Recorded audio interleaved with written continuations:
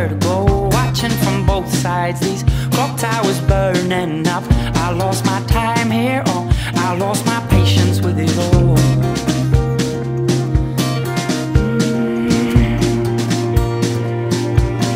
Mm. We lost faith.